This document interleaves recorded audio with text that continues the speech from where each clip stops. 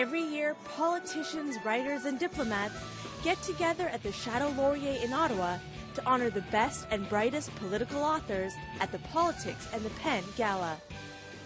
The gala brings together the who's who of Canada's literary and political communities.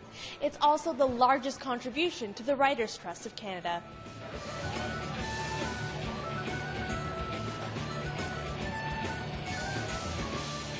I think this is a tremendous event. Anytime you see politicians, people from the political world, celebrating literature, celebrating the written word for the Writers' Trust, I mean, that's obviously a great night out. Um, there's a lot of great books written about politics every year in Canada. We're voracious readers about politics, uh, I'm, which I'm very grateful for. I think, though, that uh, what is equally important is that you get press and politics with the pen uh, and what happens is that there is a great uh, exchange of uh, friendships and, and, and, coming together. Usually, the, the authors are chasing us, or the press is chasing us, and now's an opportunity for us to chase them, you see. So it's a lot of fun. This is one of the best events of the year here in Ottawa, and it's an opportunity for, on a social basis, for politicians to interact with the media and with authors.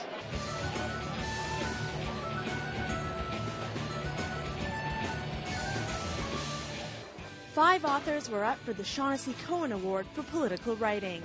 The winner receives a $25,000 prize, and a jury composed of a journalist, former politician, and an author selected this year's recipient.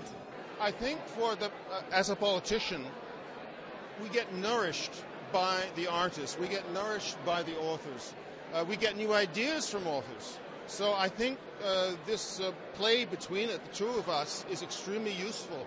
And I think all good politicians uh, listen to what authors are writing uh, to, to, find new ideas because when you're in politics, quite often you get wrapped up in the day to day. You don't really see the long term. I think it's important to bring them together in a sort of a non-controversial setting and a, a social setting, and honoring uh, Shaughnessy is a good way to do it. Not, not so much confrontation. we coexist.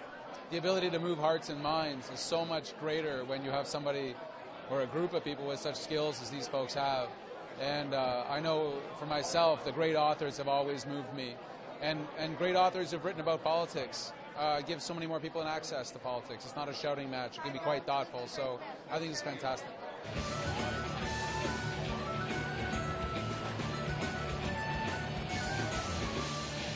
Well, you know, this is a prize for uh, political writing or writing about uh, public policy and stuff. Um, it'd be nice to think that politicians uh, can read every once in a while and uh, that the writers don't mind mixing with us. So it's, it's always a fun night.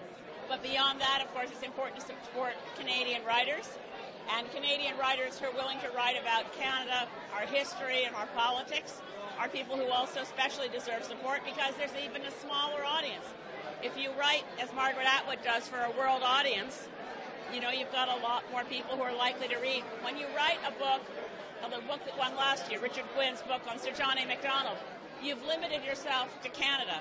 And therefore, Canadians who care about our literature and our culture and our history better go out and buy books. From an in depth analysis of Canada's healthcare system to a history of Montreal's experience with amalgamation, this year's nominees cover a wide range of political topics. Being here feels bizarre. Being nominated was a big surprise, but I'm so honored to be in this room with all these people, and, and, and it's a fantastic award, and I'm I'm thrilled. I'm absolutely thrilled.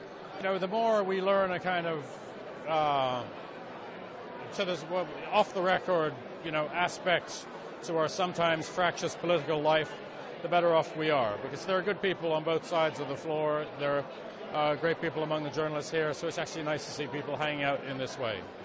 This year's event was co hosted by Minister of Foreign Affairs, the Honourable John Baird, and the Governor of the Bank of Canada, Mark Carney.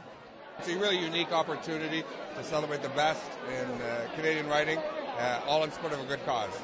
Author Marcello Di Cintio received the surprise of a lifetime as he was announced as this year's Shaughnessy Cohen Award recipient for his book, Walls Travels Along the Barricades.